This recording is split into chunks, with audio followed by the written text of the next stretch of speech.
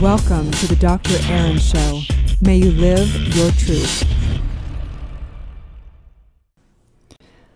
Good morning, live from Los Angeles. This is Dr. Erin teaching universal law, spiritual truth, how to reprogram the subconscious mind, and all that good stuff. Oh my gosh, it has been a while since I've been on here. I had a little break. And I am feeling excited and a little bit of um, anticipation because I've been out of the studio for 11 days and I'm headed back in for a powerful, powerful show this morning on this Motivation Monday. And it's interesting because I had to get a little real with myself for a little bit because right before the vacay and the little trip, I was feeling a little overwhelmed. I'm not going to lie. Uh, we've had over 450 guests on Good Morning LaLa Land, and it's been a very, very busy last uh, year for sure. No question about it, as you guys all know. And um, I was beginning to feel a little overwhelmed and, quite frankly, a little burned out, which is very unlike me. I usually bounce out of bed in the morning and I have so much creative juice coming out of me, downloads from the universe and all the good stuff. And I was feeling a little overwhelmed. And quite frankly, I was also feeling a little confused because I was trying to merge the two brands together, Dr. Erin and um, Good Morning La Land, making sure that I was staying on principle, on truth uh, through all of it. And it's been a little challenging. So, I wanted to talk today about how to handle being overwhelmed. And I know I've talked about this topic one other time, but I dove into it at a whole new level in the last 11 days. And so, I wanted to share some of the truths, distinctions, and workability to come out of my suffering and pain.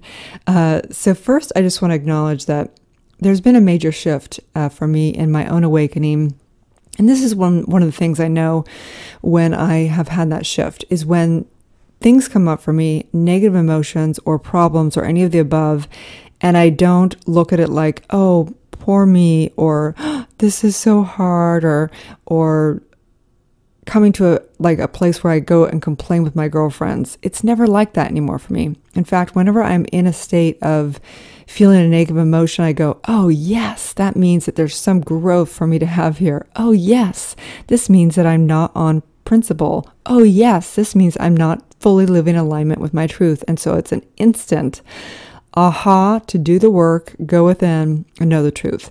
So let's dive through this. So, what happened was, I was feeling a little overwhelmed.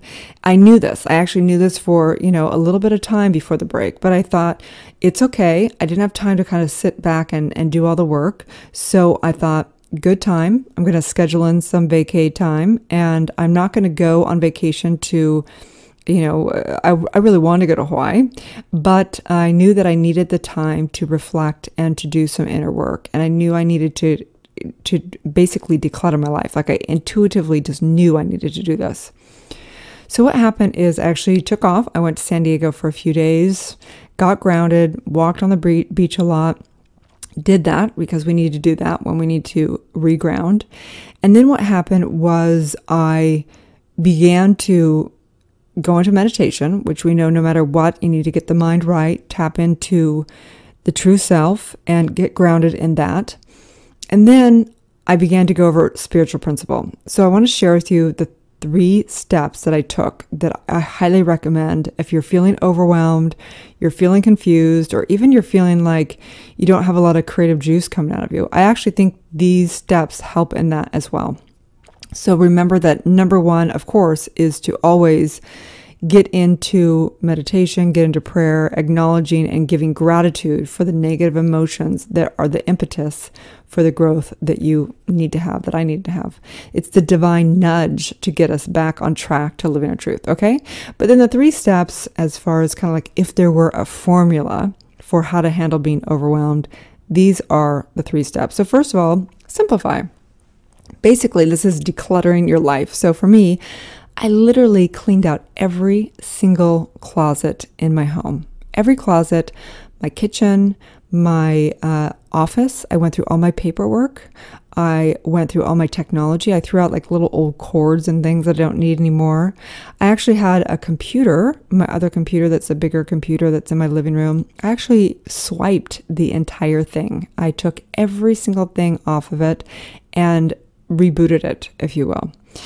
And um, I cleansed even my body. I went to the sauna and did a bit, bit of sauna work. And again, please don't try that alone. There is another podcast and there are books. You need to take supplements if you go into the sauna. So please uh, seek your traditional doctor. Make sure you're ready for that. But for me, I go in and I cleanse the body to sauna work, through all that, and um, getting an alignment with my core priorities. So I organize my environment um, even my phone. I went through my phone. I disentangled even from uh, anywhere I felt. I mean, actually, I didn't have to do this this time. Anywhere that is dysfunctional relationships, I highly recommend if you're going to do this process, begin to just put some distance and boundaries on those relationships. Luckily, I didn't have to do that this time because I have no dysfunctional relationships. Congratulations to me. Okay, so step number two is to complete all cycles of action. So, what does this mean exactly? This means that you basically can get a pen and paper out and write down all of the projects that you're up to. So for me, this was everything from the show to courses to my book to um, any core any cycles of actions. Like so, say I have projects that I'm working on, um, events I'm working on. I'm trying to think of other other projects.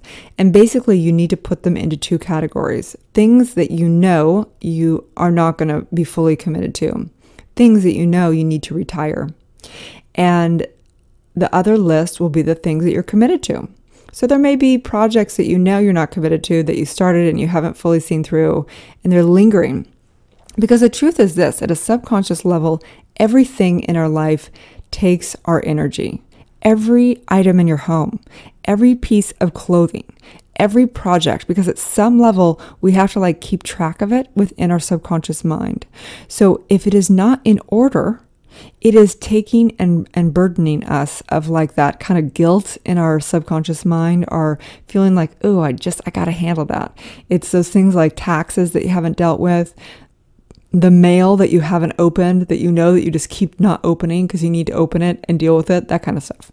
So basically, number two is to complete all cycles of action. So, going through your life, making a list of everything you have, every cycle, every project, everything, and either deciding to keep it and completing it and organizing it and keeping it in, in the ball in the air, if you will or retiring it. Okay.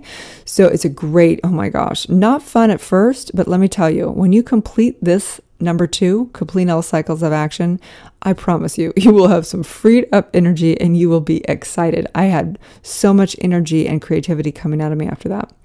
Number three is to know your products. Okay, so this is the truth that yes, we are human beings. We're here to be in source and be present and all those good things.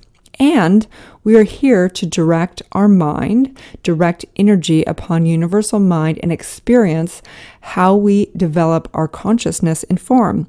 So we are here to actually produce something. Hate to break that news to you, but you are. You don't have to, but if you want to develop yourself in this lifetime as a spiritual being, we want to develop our ability to manifest, to demonstrate. So, getting clear of what you're producing in your personal and professional life is part of this cleanup thing. So, I had to go through, you know, what is it that I'm truly committed to producing on the show? What is it that I'm truly committed to producing in my my relationships, my personal relationships? What am I committed to producing in my health arena? What am I committed to producing in in all areas of my life, in my money and career and all the above? So going through those. So I highly recommend getting clear of what that is. Because this is the truth, you guys. Let's know the truth. Let's just take a deep breath for a minute, knowing that order is heaven's first law, that you are a powerful spiritual being, and the extent to which you exp- spread your energy upon many things, you will experience your powers being diluted. And the extent to which you focus your energy, you will experience yourself being powerful. So I say yes, yes, yes to what I know I'm truly committed to. And I know today I'm committed to practicing the law of harmony. This is the harmony. I know that I choose to have harmony instead of chaos, and my life frees up as I do that. Today's spiritual practice is to practice simplifying, slowing down, decluttering, completing all cycles of action. And today's challenge is to just say no. And so, on that, I know the truth today that you are a powerful spiritual being living in harmony, love, and wisdom, claiming your life and what you are here to do, which is living your truth. Thanks again for tuning in to Dr. Erin. I'd like to invite you to write a review for this podcast on iTunes. It's important that we like, share, and comment and support the communities that we love. In return, I have a free gift for you 30 guided meditations, which you can find at drerin.tv. That's www.drerin.tv. Get inspired and learn to use your mind for good via my free app, which includes my daily live show, interviews, power talks, universal law lessons, and more. Also, if you're ready to take a quantum leap in your life, you can join my mastermind and you can claim your free digital masterclass with the purchase of my international best-selling book awakening a 40-day guide to unleashing your spiritual powers life purpose and manifesting your dreams. Thanks again and may you live your truth